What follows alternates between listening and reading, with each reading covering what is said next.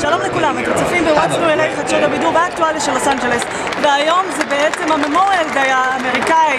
עמדנו עכשיו דקה דומייה, בחרנו דווקא להגיע לכאן ולסקר את האירועים של ממוריאל דיי בדוג'יט סטדיום והגיעו לכאן חיילים ששירתו בעיראק וששירתו באפגניסטן.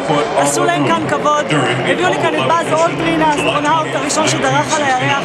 ובעצם עשו כאן כבוד. כל היציע הזה מלא בחיילים ששירתו בעיראק ואפגניסטן. תודה רבה, תמשיכו לצפות כאן.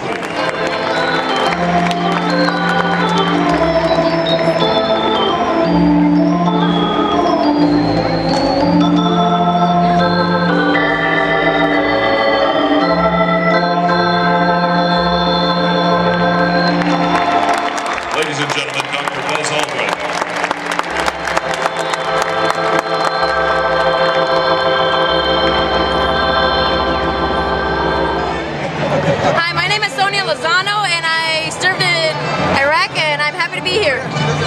My name is Eric Goldie, Major Eric Goldie. Um, I'm at Dodger Stadium today on Memorial Day 2013, and I was down on the field with 50 other wounded warriors that served in Afghanistan and Iraq. And I served in Af- uh, Iraq in 2010 and 2011 in Baghdad in the international zone, and it's an exciting day to be an American. How did you feel down there? I felt great. It was an honor and a privilege to be down there with all these fellow service members and seeing also five soldiers in Afghanistan at 4 o'clock in the morning on the monitor.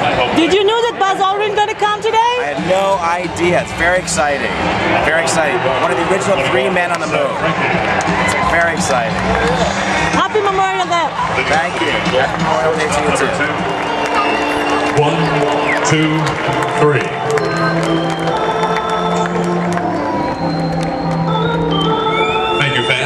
Special thank you to all the members of our nation's armed forces serving our country.